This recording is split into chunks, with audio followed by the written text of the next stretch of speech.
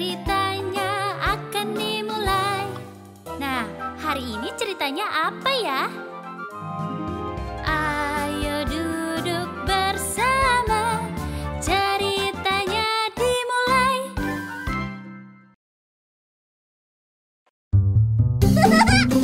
Jangan lupa klik tombol subscribe, nyalakan lonceng, dan like videonya ya.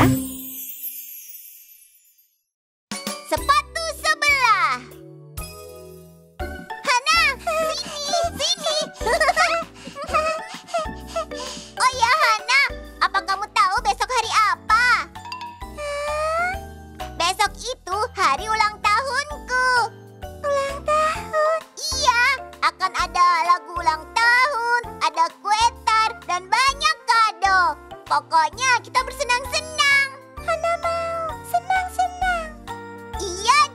Ini dia. Ketinggalan. Ini punya si Majiro. Ah, benar. Begitu lihat pasti terkejut. Kado yang terbaik ya. Kado. Selamat, Selamat ulang tahun, si Majiro. Itu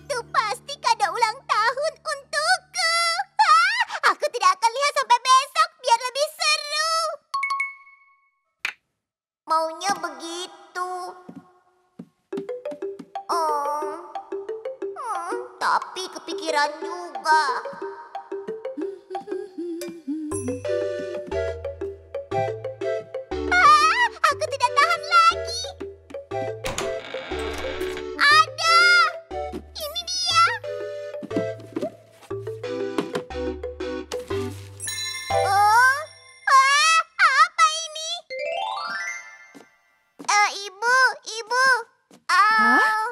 Berantakan begini?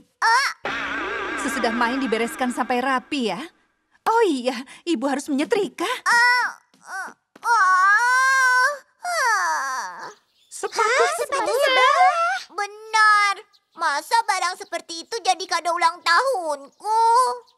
Sepatu yang dipakai bayi kan? Menurutku tidak mungkin. Siapa tahu kamu salah dengar, Shimajiro. Tapi ibu benar-benar bilang itu kado. Oh ya ayah, soal kadoku itu. Kado? Oh iya, maaf ya, sebentar. Si Mataro, kami datang. Selamat malam. Selamat datang. Si Majiro, Hana, kakek dan nenek sudah datang.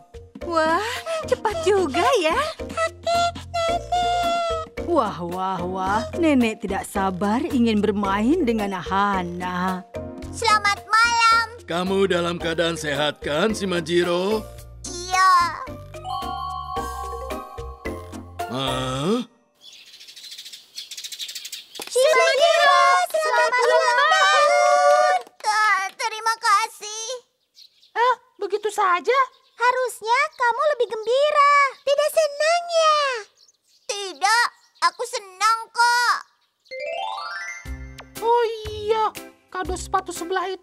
Membuatmu bingung ya?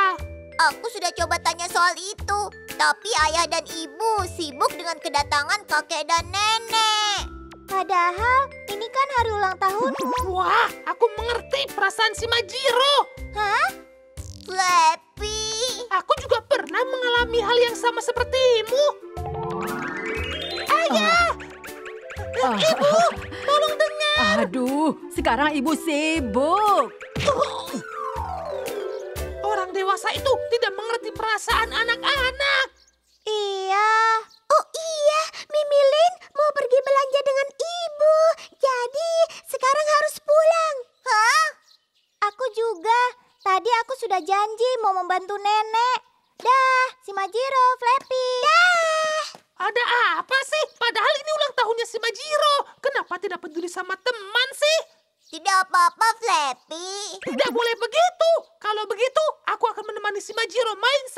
Ini. Ibu sudah beli bahan untuk takoyaki kesukaanmu. Jadi cepat pulang dan makan. Ayo cepat. Wah, asik. Maaf ya, si Majiro. Nanti kita ngobrol lagi ya. Dadah!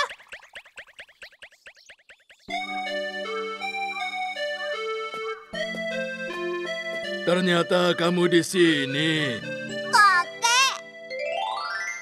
Sepatunya cuma sebelah ya. kado ulang tahunnya aneh. Aku tidak mau. Jangan-jangan sepatu biru yang ada gambar roketnya itu ya. Iya. Ah, kok kakek tahu? Soal sepatu itu, kakek pasti tahu. Si Majiro pasti tidak ingat, tapi itu sepatumu sendiri. Apa? Punya aku. Iya, sepatumu waktu masih bayi. Si Majiro, beberapa saat setelah kamu lahir, waktu itu akhirnya kamu bisa berdiri sendiri dan mulai berjalan. Ayah dan ibumu bahagia sekali sampai tidak terbayangkan. Makin lama kamu makin lancar berjalan dan senang sekali memakai sepatu itu. Kamu pakai terus ke mana-mana. Pada suatu hari, si Majiro menghilang. Dan saat ditemukan, salah satu sepatumu hilang. Jadi terpaksa kamu tidak memakai sepatu favoritmu lagi. Ternyata ayah ibumu tidak membuang sepatu itu, tapi menyimpannya di dalam kotak sebagai barang berharga. Wah, berarti sepatu yang tadi. Ah, pasti dikeluarkan dari kotak itu ya. Aku tidak tahu. Ternyata ada barang seperti itu. Baiklah, sudah waktunya pulang. Yang lain sudah menunggu kita.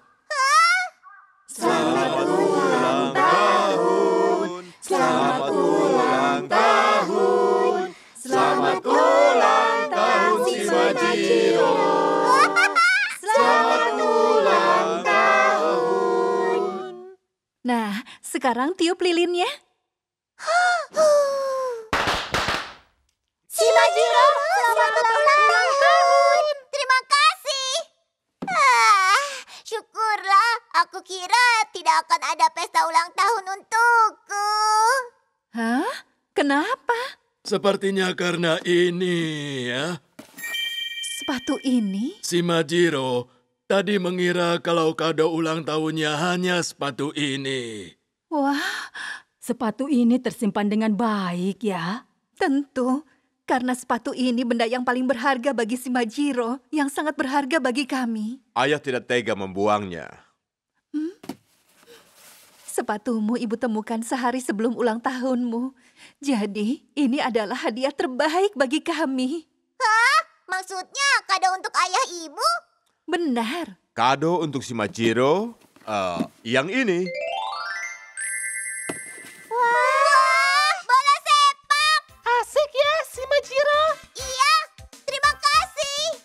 Hmm, Nah, makanannya ada banyak.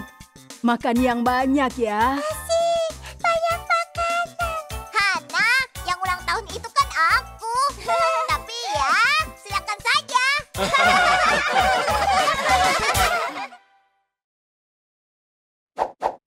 Si Majiro.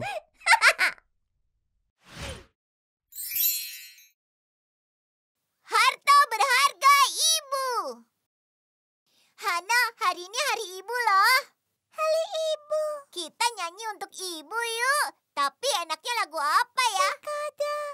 Ah, ibu suka kodok. Ada-ada saja. Yang suka kodok itu kan Hana. Rangkaian bunga untuk ibu bagusnya seperti apa ya? Hmm, Mungkin sebaiknya aku minta bantuan nenek untuk membuat kue hari ibu. Hmm, di hari ibu enaknya kita berikan kado apa pada ibu ya? Takoyaki, bunga, kue. Ah, tidak, harusnya sesuatu yang lebih berkesan. Yang berkesan? Apa ya? Aku tahu bagaimana kalau kita menggambar bersama di benda yang sering dipakai oleh ibu. Ide bagus. Tapi gambar apa? Iya ya, misalnya... Oh,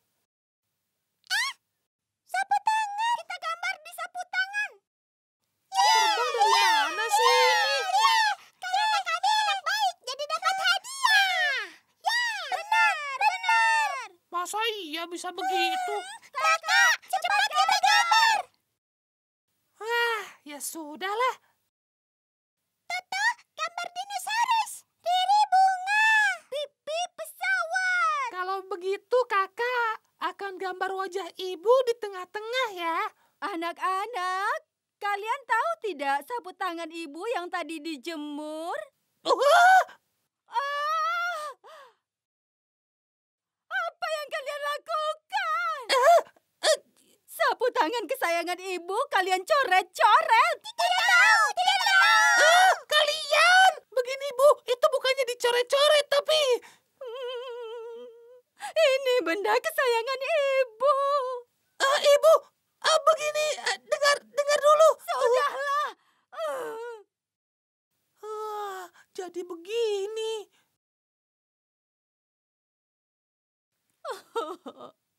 Ah, eh, ibu, Ada apa? maaf soal sapu tangan itu. Maafkan kami. Oh, sudahlah. Kalau sudah begini, walaupun dicuci berkali-kali tidak akan bersih lagi. Ye ye ye ye ye ye ye ye ye ye ye ye. Anak-anak mau ikut bernyanyi? Tidak mau, Ada apa? Kalian tidak semangat? ada masalah. Apakah sudah menentukan hadiah untuk hari ibu besok? Soal itu kami masih bingung. Jadinya bagus kan? Kamu hebat, Mimilin. Cantik sekali. Hah, Oh iya, kalian ke rumahku yuk mencicipi kue buatanku. Silakan. Enak. Niki, sekarang kamu jago bikin kue ya? Soalnya sebagian besar aku meminta bantuan nenek. Lalu aku akan bungkus rapi untuk diberikan pada ibu besok. ah. Oh, dari tadi kamu kenapa, Flappy? Oh, jadi karena itu. Kelihatannya tadi ibu marah besar. Tapi besok pasti sudah tidak marah lagi, kan? Bagaimana ya? Pasti sapu tangan itu sangat berharga. Kira-kira ada kenangan apa ya di sapu tangan itu? Aku tidak tahu. Jadi, besok kamu mau kasih apa? Hmm, bagaimana ya? Suasananya tidak bagus. Kadonya juga masih belum disiapkan. Bagaimana kalau Mimilin bagikan bunga nyelir satu tangkai? Tuh, tidak apa-apa. Hei, Flappy. Ayah, Selamat siang. Ya, selamat siang. Ada apa, Flappy? Kenapa mukamu kusut? tidak. Sapu tangannya yang seperti apa? Putih, bentuknya sih biasa saja. Wah, jangan-jangan itu... Apa paman tahu sapu tangan itu? Hmm, kalau memang sapu tangan yang itu, wajar kalau ibumu marah ya. Kenapa begitu? Ya, tenang saja. Serahkan pada ayah. Biar ayah yang bicara dengan ibumu besok ya.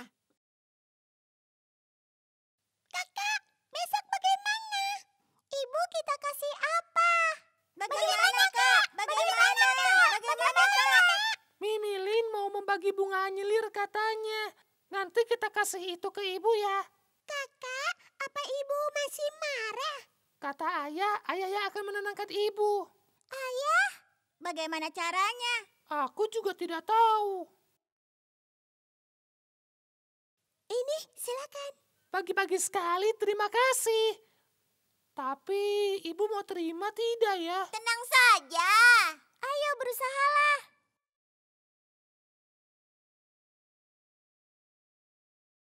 Ah, begini, ibu. Ibu. Ah, Ini, kalian. ibu. Sekali lagi maaf soal sapu tangannya. Ini hadiah untuk hari ibu. Flappy, Toto, Riri, Pipi. Terima kasih anak-anakku. Ibu sudah dengar dari ayah. Maafkan ibu, tidak mendengarkan kalian. Padahal waktu itu kalian mau menggambar di sapu tangan untuk hadiah hari ibu, kan? Tapi itu kan sapu tangan kesayangan ibu. Ah, benar. Ah, apa kalian belum tahu? Memangnya kenapa? Apa kau lupa, Flappy? Waktu itu, kita membeli sapu tangan itu. Kau ingat kan? Oh? Jadi enaknya ibu kita kasih hadiah apa ya, Flappy? Hmm, hmm, ini, ibu ada hadiah. Waktu itu kapan ya?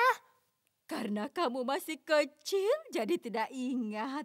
Tapi itu adalah hadiah hari ibu yang pertama dari kamu, Flappy. Oh, jadi begitu. Lihat, Toto gambar dinosaurus, Riri gambar bunga, Pipi menggambar pesawat, lalu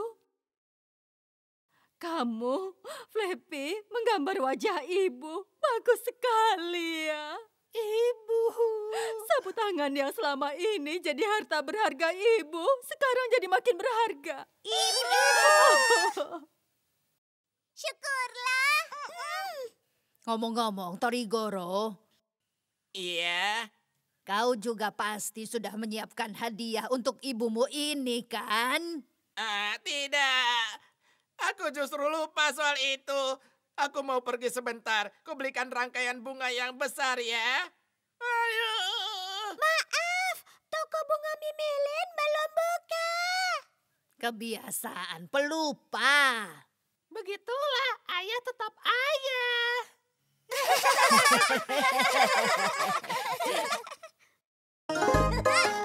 Ayo cari Simajiro di YouTube. Kita bermain bersama Simajiro yuk.